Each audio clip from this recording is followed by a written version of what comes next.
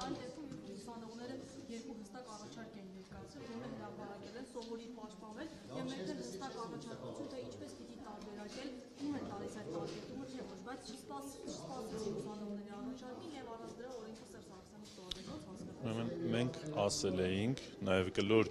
սեղանով քննարկման ընթացքում, չէ՞։ Դուք էլ բոլորդ լսել եք, որ օրենքի մենք չենք փոխելու որ օրենքը չի ուսանողների պահանջի լուծումը։ Դրանք կառավարության որոշումներն են։ Հետևաբար իշխանություններն ասել են այն, ինչ որ արել են։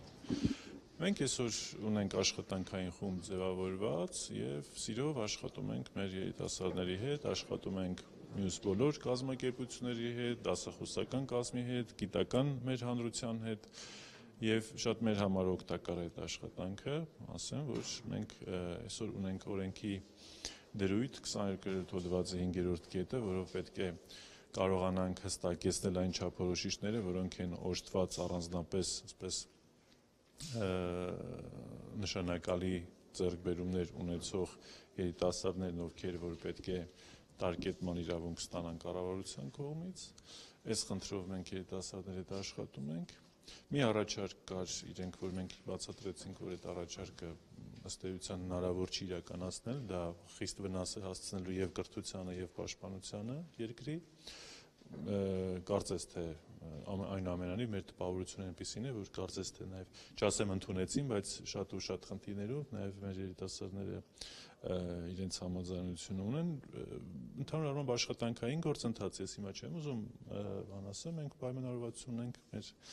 նախաձեռնող խմբի հետ, որ իրենք էլ բարբերաբար նաև աշխատանքային խմբի հետ կապի մեջ լինեն, նաև այն խնդիրները, որոնք դեռևս բաց է եւ իրենց առաջարկներում էլ մենք մանրամասն քննարկել ենք, կան նաև որոշակի այսպես ողջամիտ առաջարկներ, կան շատ օգտակար առաջարկներ, որոնք մենք պատրաստ ենք դրանք ընդունել, լսել, չափորոշիչները հստակեցնելու առումով։ Այսինքն մենք հիմա գտնում ենք մի փուլում, որ շատ օգտակար է։ Իսկ երիտասարդների շարժումը ես ասեմ, որ իրենց իր նպատակին հասել է եւ այն խնդիրը, որ հիմա ես ասեցի 22-րդ հոդվածի 5-րդ կետ հենց այդ արդյունքում, ասինքն առաջինից երկրորդ ընթերցման ժամանակա մտել օրենքի մեջ, այնպես որ այստեղ ավելին պահանջելը օրենքից դրամաբանական չի։ Այ մենք պետքա կարողանանք այնպիսի նորմեր սահմանել կառավարության որոշումների մեջ, որ առաջիկայում մենք պետք է իրականացնենք, որ հասկանալի լինի ում ինչի համար է պետությունը, կառավարությունը տալիս տարկետման իրավունք։ Դա massայական չի կարող լինել։ Եթե հիմա տարկետման իրավունքը վերաբերում է շատ քիչ թվով մարդկանց, ապա պատիվ ունեմ ծրագիրը ինքնին տարեկետման իրավունք է։ Այսինքն պատիվ ունեմ ծրագիրը ինքը տարեկետման իրավունք է, որը մոտավորապես 400, 500, 600 մարդ կարողանալու է օգտվել այդ ծրագրից։ Մնացած բոլոր առումներով արդեն առանձնապես այսպես հմտություններ, գիտական ճիղ, ներուժ եւ այսպես առանձնաշնորհյալ գիտության մեջ առանձնաշնորհյալ երիտասարդների նկատմամբ թե տարկետման իրավունքը ինչպես պետք է գործի, դա կառավարության որոշման մեջ հիմա մենք այդ ուղղությամբ մտածում ենք եւ պատրաստ ենք ոչ միայն նախաձեռնող խմբի, այլ նաեւ բոլորի առաջարկներն, ովքեր որ կունենան լսել։ Զաքարյան, այսինքն մի առաջարկ է իրենց, որը վերաբերում էր այդ գաղափարին, բանակը բերել բու, դրա այդ կապ Գիտեք, ուրեմն տեսեք, հնարավոր չի ծառայել եւ զուգահեռ սովորել։ Դրանք տարբեր մոդելներ են, արդյունքում մենք ունենանք շատ վատ կրթություն եւ շատ վատ ծառայություն հնարավոր չի դա մեր համար մենք բացատրել ենք շատ հիմնովին որ դա գաղափար է դա ցանկություն է որը որ կիրառական մեխանիզմներ որպես այդպեսին չի կարող ունենալ մեր երկրի պարագայում Մենք հիմա աշխատում ենք, այո, եւ իրենք իրենք էլ մեր հետ կարծես թե ընդհանուր այդ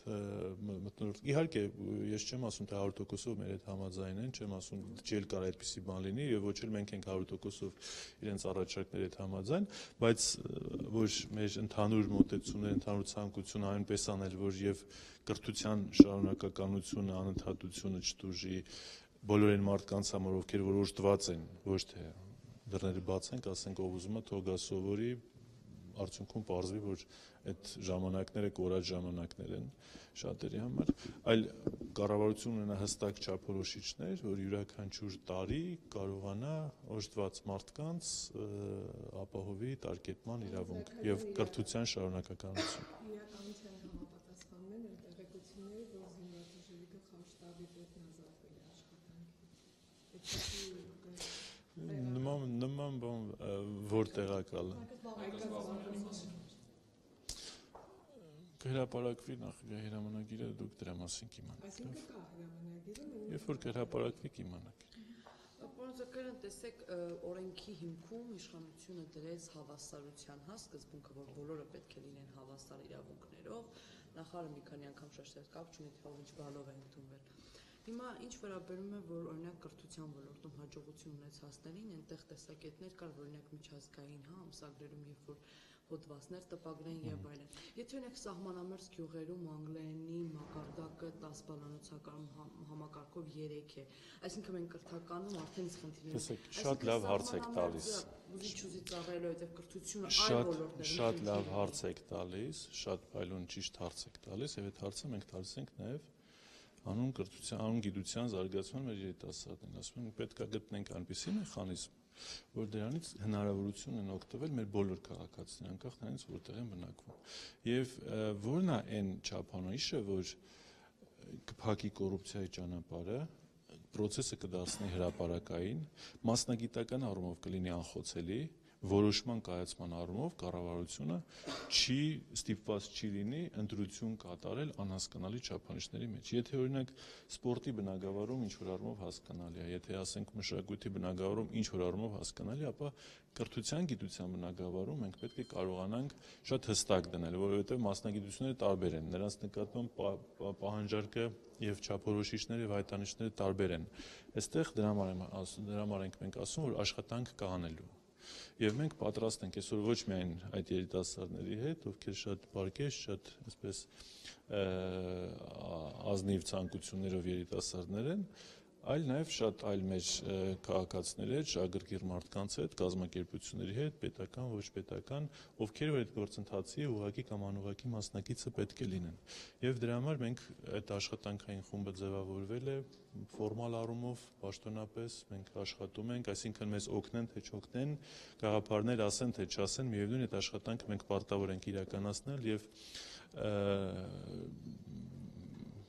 ասիկ սահմանված ժամկետում ներկայացնել կառավարության քննարկմանը։ Պարոն Զաքարյան, տեսեք, հիմնական մտահոգությունը նաև քննադատողների այն է, որ եթե չլինի ուսման նպատակով, եթե ուսման նպատակով չկարողանան բանակից խուսափել, ապա փորձեն ձևակերպել չեղած կեղծ առողջական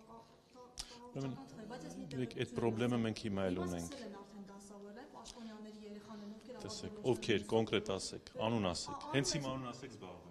Անորոշ բաներ եք ասում, մարդկանց կան կոնկրետ ասեք, կոնկրետ, կոնկրետ։ Խնդրեմ, կոնկրետ։ Դե դուք եք ասում։ Մենք Ինքով։ մի մի մի մեր վերադրեք բաներ, որը որ դուք եք բարձրացնում։ Եթե ասում եք, բարի եղեք, ասեք նաև կոնկրետ ով։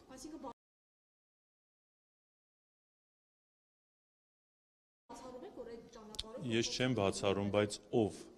Հիմա դուք ասում եք անորոշ օթում կրակոց, հասկանում եք, այդպես չի կարելի։ Ովքեր։ մեր պաշտոնյաների երեխաները Դե ասեք ով։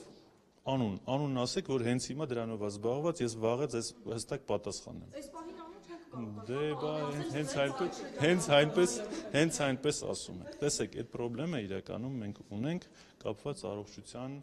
հետ կապված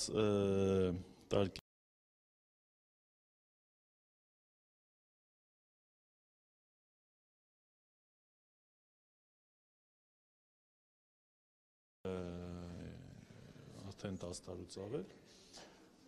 մենք դա առաջարկել ենք, որ դա լինի կառավարության որոշմամբ, հրապարական եւ մինչեւ այդ անպայման փորձագիտական մեծ, այսպես բազա ունենա, որովհետեւ մենք կարողանանք առողջության հետ կապված խնդիրներում առավելագույնս լինել անսխալ, անխոցելի եւ թույլ չտանք ձեր ասած ճանապարհով մարդիկ իրենց մտքում ունենան նաեւ այդ անընդունելի մոտեցումը։ Իհարկե։ Դա եւս օրենքով, օրենքի կարգավորումներից մեկը, այսինքն բարեփոխումներից մեկը հենց դա էր։